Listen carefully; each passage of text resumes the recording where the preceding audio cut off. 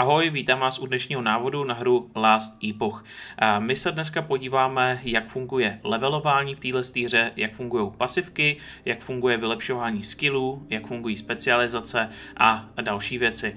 My jsme si už na hru dělali i nějaký obecný takový náhled, takovou recenzi, takže se určitě můžete podívat na kanálu. Teď už bez dalšího kecání, pojďme rovnou na to. Tak na první dobrou si založíme charakter. Tohle je už docela důležitá část toho rozdělování potom dalších bodů a podobně. Ve hře máme dostupných pět základních klas. Máme tady v podstatě paladina, rouga, čaroděje, druida a potom Necromancera. A tohle jsou docela zajímavé klásy, i když to na první dobrou možná tak nezní.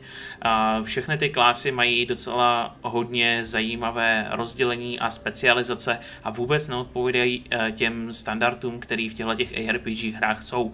Takže když si třeba podíváme na tady Sentinela nebo Paladina, jak mu chcete říkat, tak vidíte, že on má potom nějaký další masteries a ty masteries potom ovlivňují to, jak se ta klása hraje, co dělá a tak podobně. Takže například právě zmiňovaný Paladin, který je tedy nějaká ascendancy class toho Sentinela, a tak potom má třeba zaměření hlavně na to štítování, léčení a podobně. Oproti tomu můžete hrát třeba Void Knighta, který je třeba samozřejmě trošku inspirován dračím doupitem a tady vidíte, že má různý Erasing Strike, Volatile, Reversals a podobné věci, které jsou spíše zaměřené třeba na poškození.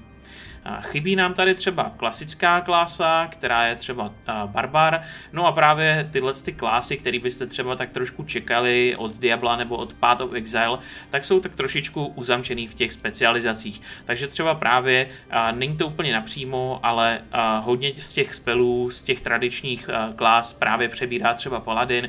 Vidíte, že tady má Warpath, což je prakticky v podstatě Whirlwind, nebo třeba Druid, který tady taky přebírá spoustu kouzel od klasického Barbara, jako třeba Warcry, nebo potom tady má někde Leap a podobně, nebo třeba Earthquake, a dokonce tady má někde i Upheaval a podobné další, další věci. Takže vidíte, že skutečně je to tak trošku zajímavý v té hře, je to hodně jinak rozdělený.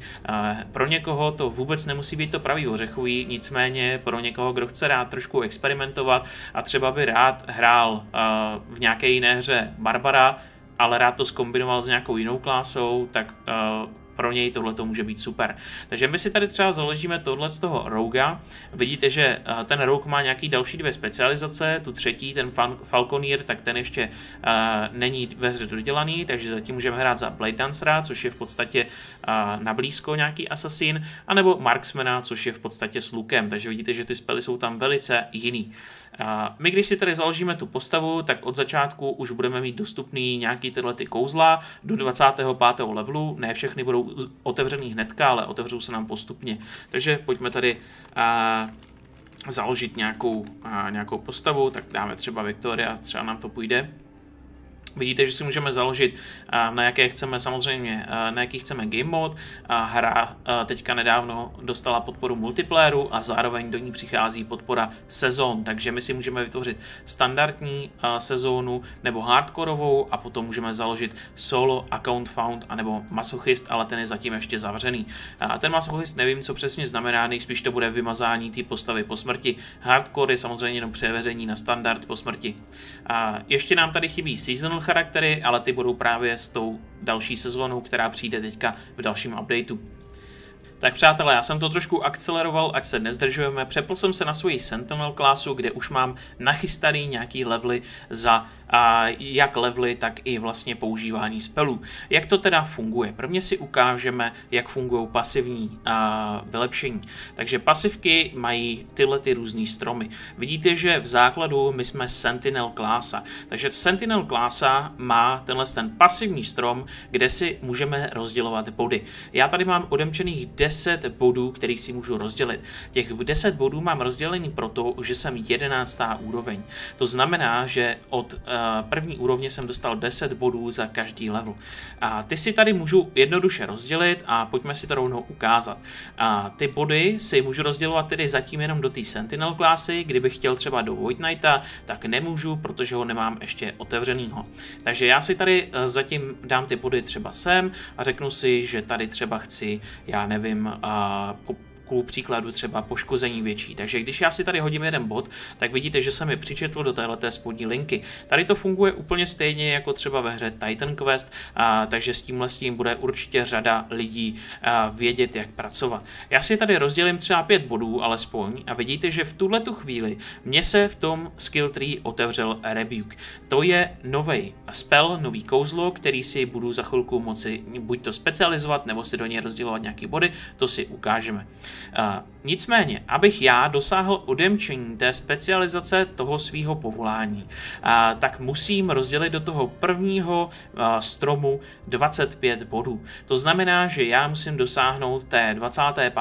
možná teda 26. úrovně, teď si nejsem úplně jistý, abych si tady rozdělil těch 25 bodů a v tu chvíli, kdy se mi to podaří, tak si budu moci vybrat tu specializaci a ty další body už budu moct, ale nemusím, ale budu, budu jako moct uh, si rozdělovat do těch jednotlivých specializací. Takže pokud já si řeknu, že bych chtěl být Void Knight, který je třeba víc zaměřený na kouzla, na poškození, tak bych si ty body potom mohl investovat tady. Vidíte, že ty body se sdílejí za ty vaše levely.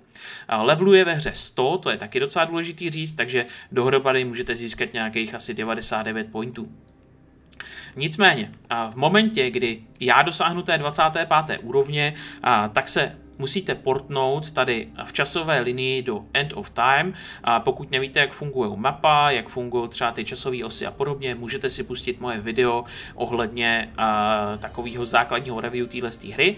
Nicméně v rychlosti vám to tady ukážu. Máte v podstatě mapu, ta je neměná, ale tím, jak se mění čas, tak na mapě se mění ty lokace. Vznikají a zanikají nové lokace, jsou tam nové NPCčka a tak podobně. Takže pokaždé vy, když se teleportujete třeba tady do toho města, tak je tam úplně něco jiného, než tam bylo v nějaké jiné časové linii. A třeba kolikrát tam máte úkol, že máte cestovat do jiného času, tam něco vyřešit, vrátit se třeba zpátky a tak podobně. Je to trošičku zamotaný, je to trošku chaos, bude to chtít pár updateů lidi, ale na to, že tahle hra je indie a v podstatě to dělá pár lidí a ještě v Unity Engineu, tak je to velice super. Uh, musíte tady taky ještě brát to, že ta hra má 14 dní multiplayer update, takže je tam spousta bugů, ale postupně se to vyřeší.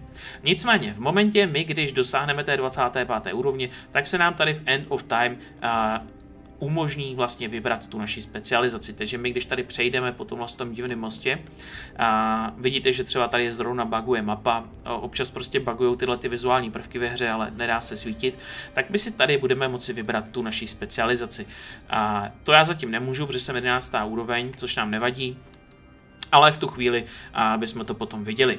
A pojďme si tedy ukázat, jakým způsobem to funguje, když už se nám potom otevřou nějaký ty skilly. My za každou úroveň, kterou máme naší postavy, tak si odemykáme tyhle ty kouzla. A vidíte, že na první úrovni, na druhé, třetí a čtvrté se nám otevřou první čtyři kouzla. A později se nám budou otevírat i další, takže na nějaké třeba pomyslně desáté, patnácté, osmnácté a devatenácté se nám otevírají další kouzla. A tohle to jsou kouzla, která se nám teda automaticky otevírají s tou naší klásou. Když si všimnete dál, tak tady už mám ten rebuke. Ten rebuke se nám otevřel, protože jsme si investovali 5 bodů do našeho pasivního stromu Sentinel. Takže tady máme otevřený tenhle ten rebuke. Takže tyhle ty čtyři kouzla se odevírají tím pasivním stromem. Kdybych tam investoval 10 bodů, tak se mi otevře Shield Rush. Tyhle ty kouzla, ať chceme nebo nechceme, tak se musí odemčít a musíme do nich nainvestovat ty body. A jo, jiným způsobem to v podstatě nejde. A v momentě, kdy se nám to teda podaří, a tak se nám a, ty kouzla tady aktivují. Zároveň za čtvrtý, tuším, osmý, dvacátý, třicátý, pátý a padesátý level se nám otevřou specializace těch kouzel nebo těch skillů. A tohle je v podstatě jsou vlastně vlastní pasivní skill tree. My když si třeba vezmeme nějaký kouzlo, řeknu třeba Warpath, což je v podstatě Whirlwind, tak si ho tady můžu takhle aktivovat a v tu chvíli se mi specializuje. V tu chvíli, kdy jsem to udělal, tak tohleto kouzlo bude levelovat s mojí postavou. Tím, jak zabijím monstra, jak používám to kouzlo, tak do něj rostou zkušenosti, na který se tady můžu dívat na téhle leštičce. A když dosáhnu nové úrovně, tak se mi otevře bod, který je specifický pro tenhle ten skill tree. Není to, že by to bylo pro jednotlivý, nebo pro všechny ty kouzla, ale každý to jedno kouzlo má svoje vlastní body a svůj vlastní skill tree. Takže tímto způsobem se mi otevřou skill tree. No a tady už mám pasivky, které můžou totálně překombinovat to kouzlo úplně do jakýhokoliv způsobu a stylu, který chci.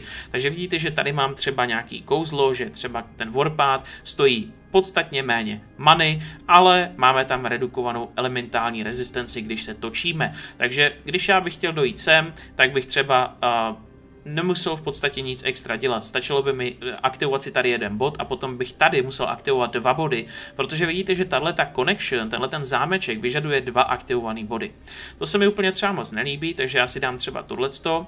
Vidíte, že bych se chtěl dostat třeba semka, takže abych se sem dostal, tak musím aktivovat jeden bod, to už jsem splnil, takže si můžu dát bod sem, Tady už bych si musel ty body dát dva, takže vidíte, že teď už mě to tady nepustí, protože bych si musel ještě jeden bod dát sem, abych se sem dostal. Takže tímto způsobem fungují ty zámečky.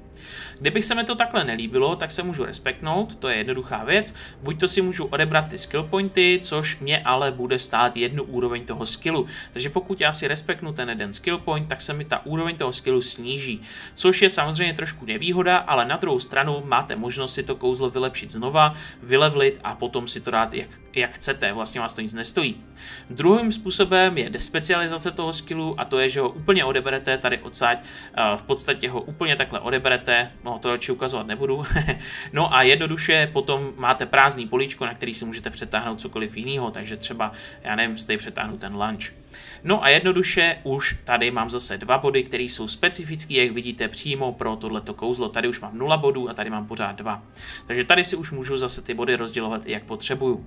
Já si tohleto zase pro uh, ukázku respektnu, takže tady si dám Despecialize a jednoduše si to odeberu a vidíte, že mi tam pořád zůstaly i ty moje body, které jsem si nerozdělil, takže to takhle jednoduše můžu despecializovat kolikrát chci.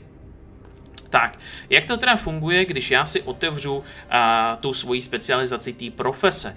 Uh, tady, když bych si třeba otevřel toho Void Knighta, uh, tak semka už tu chvíli bych si mohl aktivovat ty jednotlivé body. Uh, mohl bych si je tady takhle vesele rozdělovat a jak bych si je rozděloval, uh, tak by mi to dávalo uh, samozřejmě zase ty další kouzla. V tu chvíli, kdyby mi to ty kouzla odemykalo, tak už bych si je tady zase mohl takhle vesele přetahovat, ale to si ukážeme na mojí hlavní postavě, která má už na to dostatečně dostatečnou úroveň a všechno tam vidíme. Co to ale obnáší ta specializace? Znamená to, že když já si vyberu třeba Void Knighta, tak už nebudu moc vylepšovat žádný kouzla třeba z Forge Guarda, ne, a to neznamená. Jediný, co ta specializace dělá, je to, že vám vybírá váš ultimátní spell, což je tenhle ten spell, který je tady vždycky nakreslený u té jednotlivé specializace. Tenhle ten spell, tohleto kouzlo se vám vlastně odemče jenom pokud si zvolíte tu jednotlivou klásu. Takže ta klása v podstatě má za to daný tohle. Občas ta klása má i nějaký pasivní bonusy, který si můžete přečíst tady, takže třeba Void Knight má zvýšenou o 75% poškození Void Damage na blízko. Takže v podstatě ještě to má nějaký další pasivky a ty získáte taky jenom tím specializováním na té 25. úrovni. Takže takhle jednoduše o tohle jediný se připravíte o ty pasivky a o to jedno kouzlo. Ty ostatní věci budete moc veselé po té 25. úrovni rozdělovat do těch triček, i když je nemáte vybraný a to si ukážeme teďka na té další postavě. Tak přátelé, já už jsem teďka na té své hlavní postavě, tady už mám otevřený daleko víc věcí, vidíte, že občas zase nějaký vizuální bug, třeba tady nevidím svoji zbraň, takže to je taková běžná věc. Nicméně, tady už mám udemčený všechny ty své specializace a podobné věci. Já jsem si tady na té postavě zvolil specializaci druida, takže vidíte, že mám tu Verber formu, no ale bohužel jsem přišel o Samon Raptor a přišel jsem taky o tenhle ten Samon Store Totem. Nicméně, tohleto mě vyhovovalo, takže jsem si vybral toho Verbera. V momentě, kdy jsem to udělal, tak se mi to kouzlo otevřelo, ty ostatní mi začaly, uh, zůstaly zamčený. Nicméně ty další kouzla už jsou závislí právě na tom pasivním skill tree, jak jsem vám říkal. Takže pokud já dostanu za svůj level, uh, tady nevím, jestli jsem zmiňoval, ale těch levelů ve hře je až 100, takže můžete dostat 99 těchto těch pointů, tak ty pointy si můžete rozdělit mezi ty jednotlivé stromy. A vidíte, že ty stromy jsou už jakoby shareovaný, už to mají sdílený tyhle ty body. Uh, mohl bych si klidně ty body rozdělovat dál i do toho primárního, do toho primalisty, nemusel bych si ty body vůbec investovat sem. Eh, není to závislý na tom, že byste si tady nainvestovali 25 bodů a víc už nic. Tak to nefunguje. Takhle si vidíte, že já jich tady mám třeba 26 dokonce. Takže vesele si tady můžete ty body rozdělovat potom, jak chcete. No a tím, jak je rozdělujete, tak vám to zároveň odemyká ty jednotlivý kouzla. Co se týká těchto těch pasivek, tak tady už nejsou vůbec žádný limitace. Takže pokud já si tady prostě vezmu nějakou tuhle tu pasivku, tak je stejně silná, jako kdyby bych měl tu, eh, toho Beastmastera zvoleného jako primárního, takže to vůbec ničemu nevadí. Takže tohle je v podstatě k tomu výběru těch kouzel. Stejným způsobem to funguje s těma specializacema. Vidíte, že nemusím specializovat jenom ty primární kouzla a ty vybraný z toho druida, ale já tady mám třeba specializovaný Earthquake, který je přímo uh, v šamanovi, který ho vůbec nemám, takže můžu si tady potom hodit takhle ten Earthquake. No a tady už mám rozdělený body a vidíte, že ty levely jsou dost často dost crazy. Tady je třeba Cataclysm, který z toho Earthquakeu dělá ohnivý kouzlo a potom třeba se do toho kouzla nepočítají bonusy z vašeho fyzického poškození poškození, ale třeba z ohnivého jenom nebo z magického. Takže je tady úplně jakoby dost šílených pasivek, který to kouzlo dokážou proměnit naprosto do něčeho jiného. Ten, tenhle ten Beastmaster je k tomu zrovna skvělý příklad, protože údajně tady dokonce třeba kouzlo, že, který se dá jako proměnit na to, že vyvoláváte veverky místo nějakého jiného samona. Takže je tady i takhle moc velká customizace, že to kouzlo si přeměníte úplně do jiného spelu, než defaultně byl. K tomu se ještě dostaneme. Já jsem tedy na 51. úrovni. Co to znamená? V tuhle tu chvíli já jsem v podstatě na konci hlavní kampaně. Ta hlavní kampaně označená těma zlatýma otazníkem a vidíte, že mi tam ještě nějaký kouzlo nebo nějaký eh, quest zůstal. Já ho teďka nebudu řešit a ani nemusím, protože ta endgame je v podstatě otevřena už od začátku hry, nebo víceméně od toho 25. levelu, kdy si vyberete tu specializaci. V tu chvíli se totiž dostanete do tohohle z toho End of Time, tohle se vám otevře a tady si u toho Joudy nahoře, co jsem vám ukazoval, vyberete tu specializaci a otevře se vám tenhle ten most, který vede na první mapu nebo na první monolit. Tohleto, na to máme speciální video, takže pokud to chcete vědět trošku víc hloubky, tak se na ně podívejte. V podstatě tohle je první monolit, tady je doporučená úroveň 58, já bych ale od toho 25. levelu klidně sem mohl chodit. Je tady navíc výjimka, že pokud jste třeba s nějakým kamarádem, tak můžete klidně od prvního levelu, protože se připojíte na něj, takže to je trošku takový, takový skemik, že si to můžete prostě prorašovat a kamarád vás může vylevlit na endgameu. Ta endgame teda vede až do z tého levelu. Eh, level je v podstatě maximální, jsou tam potom ještě nějaké další vylepšení a podobné věci, ale to už se víceméně týká craftingu, vylepšování gíru a dalších věcí, na kterých si uděláme separátní video, až se do toho trošičku ještě víc dostanu a ponořím. A, takže to je víceméně k tomu. A, ta doporučená úroveň vás teda nelimituje v tom, abyste tady a, eh, vesele chodili a levelili. Takovou poslední věcí je asi respekování. Jak už jsem vám říkal, tak kouzla si můžete respekovat sami. Když máte nějakou specializaci, tak buď to si můžete respekovat jednotlivý body a to vám bude snižovat tu úroveň i zároveň toho kouzla, takže pokud si respeknete jeden bod odsud třeba, tak vám to sníží úroveň toho spelu na 11.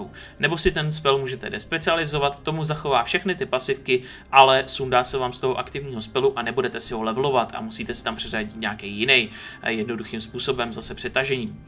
Co se týká těch pasivek, tak tady už je to složitější a není to zdarma. Ty pasivky se uh, respekují ve městech, a těch měst tady není úplně tolik, jsou tady asi čtyři nebo pět, nejsem si úplně jistý. Nicméně v těch větších je takovýhle jouda, u kterého si můžete respekovat ty pasivky. Tady jednoduše můžete v podstatě kliknout na jakoukoliv pasivku, ono vám to ukáže, kolik vás to bude stát a kolik to stojí goldů. V podstatě to funguje tak, že jeden point v tom daném skillu je třeba uh, 150 nebo 160 goldů, dva pointy je dvojnásobek, 8 pointů je osminásobek, takže čím víc těch uh, pointů máte v tom daném spelu zainvestovaných, tím víc vás to stojí, jinak nezáleží a prost, uh, naprosto na ničem jiném, takže pokud máte třeba tady, já nevím, 10 bodů daných tady, no tak vás to prostě bude stát 10 x 160 goldů. No a takhle jednoduše se musíte samozřejmě od konce propracovat až na začátek, pokud chcete respektovat ty kouzla tady. Protože samozřejmě, abyste respektnuli tohle, tak máte podmínku toho odemčení tady, takže musíte postupně zprava doleva. A můžete si respektovat dokonce i ty kouzla, co se týkají toho primalisty, takže pokud byste chtěli, takže si musí, můžete veselé i třeba respektovat ty body uh, tady, ale tady jsou už potom nějaké podmínky u těch dalších Beastmasterů a šamanů, že třeba nemůžete respektovat uh, víc jak třeba 25 bodů z tohoto základního stromu, uh, můžete tady mít třeba jako víc, ale nemůžete mít míň, takže to si dávajte trošku pozor. A tohle je v podstatě všechno, co se týká toho respekování. Tak jo, přátelé, to je v podstatě všechno, co se týká toho levelování. A možná jsem ještě třeba na něco zapomněl, nejsem na to žádný odborník, ale hra mě baví. Jestli chcete slyšet nějaký můj upřímný názor, tak si myslím, že hra je velice dobrá, hraje až 20 tisíc lidí denně. Peak byl, myslím, nějakých 40 tisíc lidí denně. Na indie hru, která je dělaná v pár lidech a zároveň je to dělaný v Unity Engineu, tak je to velice dobrý. Musíme taky brát v úvahu, že ten patch na multiplayer dostala hra někde v půlce března 2023, takže to je úplně úplná novinka pro tuhle tu hru mít multiplayer. Uh, vidíte, že těch bugů tam je spousta, jsou tam vizuální bugy, občas vám třeba se nezobrazuje vůbec žádný brnění, nebo se vám nezobrazuje mapa, mapa, nebo se vám nezobrazuje ani to, na čem stojíte ve hře. Jsou tam takovýhle prostě problémy.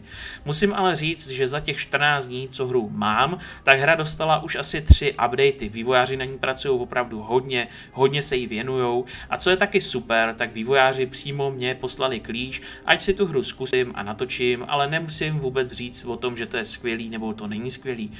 Můžu si to prostě jenom zahrát, vyzkoušet a je to prostě na mě. Takže je to o tomhle tom, že ty vývojáři hráči jsou prostě fajn, je to parta mladých lidí, kteří chcou udělat dobrou hru, klidně si tu hru prostě vyzkoušejte, nebo si ji prostě kupte. Já osobně si myslím, že ta hra za půl roku bude velice skvělá. Ta hra by měla velmi brzo dostat i seasons, vlastně takový jakoby ligy, stejně jako je třeba v Path of Exile nebo v Diablu, takže tam bude třeba každý tři měsíce nějaká sezóna, za kterou přibude nějaký nový obsah a podobné věci. Už teďka se v té hře dá dělat bambilion věcí a třeba ta endgame, to je, ta endgame je v podstatě tohleto, jo. Vy tady máte, já nevím kolik, 20 ostrovů a na každém tom ostrově ještě 20 lokací, do kterých můžete chodit. Já tady mám otevřenou teďka jenom jednu, jo, ale prostě máte tam úplně strašnou hromadu obsahu, co můžete dělat. Máte tam náhodný dungeony, máte tam i dungeony, které jsou třeba v rámci přímo té mapy, takže třeba, nevím, jestli tady teďka nějaký zrovna objevím, ale určitě jsem tady někde nějaký viděl. Jo, třeba tady máte speciální třeba dungeon, kam můžete jako takový raidový chodit třeba s partou lidí. Do toho endgameu taky můžete chodit s partou lidí, je tady spousta bossů, je to hodně do stylu Path of Exile a určitě budou ty mechaniky jenom přibývat. Musím říct, že jsou tady zatím docela dlouhý loading timey, občas jsou nějaký login queues, když je tam hodně lidí a podobné věci, ale to jsou věci, které se stoprocentně vyřeší. A za mě je hra velice dobrá, dal bych jí třeba teďka v tomto stavu takových 7 až 8 bodů, něco mezi tím z 10, protože mě hra baví a baví mě tím, jak je netradiční. Pokud chcete hrát nějakou ARPG hru a už máte dost prostě toho Path of Exile, máte dost třeba Diabla a podobných věcí, chcete zkusit něco nového a třeba jste měli rádi Titan Quest, který mu se to hodně podobá, a, tak tohle to můžete vyzkoušet. Zároveň nebudete z toho úplně zmatený, protože spousta spelů se tady prostě jmenuje stejně jako v Diablu. Vidíte, že tady je Earthquake, Fury Leaf, Upheaval. No a každému asi dojde, co ty spely dělají. Werber Form, jo, to samý, Swipe. Takže Víceméně nebudete z toho úplně nějak extra zmatený, ale můžete být, protože třeba prostě ten druid tady může kouzlit nějaký ledový šipky, může vyvolávat, může skákat, vyvolávat totemy, třeba z Path of Exile, může tady prostě dělat nějaký Tempest Strike z Path of Exile, Milestone z Path of Exile. Je to taková kombinace prostě těchto těch dvou her a vývojáři to otevřeně přiznávají. Jak jsem říkal, mě to spíš při, jako připomíná ten Titan Quest tím vylepšováním těch pasivek a podobně, i tím vzhledem, ale to je možná jenom můj problém. Uh, tak jo, přátelé, to je v podstatě všechno. Já doufám, že se vám dnešní video líbilo, možná bylo trošku delší, ale určitě to stálo za to. Mějte se skvěle, nahoďte odběr na tenhle ten kanál, ať vám neutečou další videjka z téhle skvělé hry, nebo z Diablo 4, nebo z Path of Exile a dalších ARPG her, které budeme na tomhle kanále hrát. A to už je všechno, mějte se skvěle a čego.